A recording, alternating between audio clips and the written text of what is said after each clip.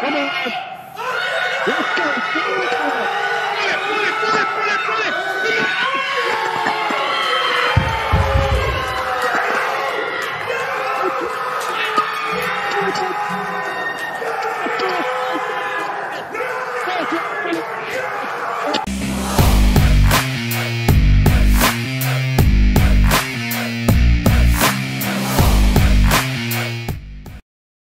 All right, what's going on, you guys? Nick here with Nick Strength and Power. Ladies and gentlemen, you have a brand new world record holder in the deadlift. Hafthor Julius Bjornsson just deadlifted 501 kilograms in Iceland to beat Eddie Hall's record of 500 kilograms.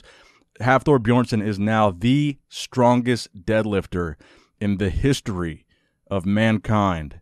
A lot of people were questioning the legitimacy of this record, but I think the way that he lifted that 501 there was no question that it was a good lift. Um, it was fantastic to see this. I was hyped watching the live stream. I know all you guys were watching it too. At one point, it had over 400,000 live viewers on that stream. I was watching it on the Rogue YouTube channel live stream. Shout out to Rogue for sponsoring this event. Now, they had uh, all the plates weighed before every single attempt. So they took all the Rogue calib- calibrated plates um, before each attempt. There were three attempts. Now, Thor started out here with a 420 kilogram deadlift attempt, which was 925 pounds. And he did that like it was nothing. And we're talking about almost a thousand pounds here, 925 pounds. He did it with relative ease. His second attempt, 465, so five kilograms less than the uh, live stream that we saw him do on Twitch a few days ago. Um, and that is 1,025 pounds. He did that pretty easy as well. Third attempt, the world record, 501 kilograms, um, 1,104 pounds.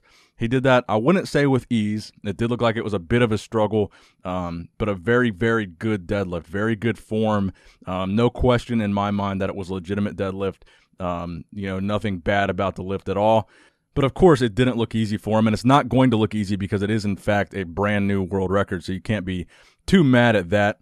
So smash that thumbs up button for Hafthor Julius Bjornsson. He is now the strongest deadlifter on the planet right now. Now, unfortunately, I'm watching the live stream right now, and Hafthor just announced he will not be going for a fourth attempt of 520 kilograms.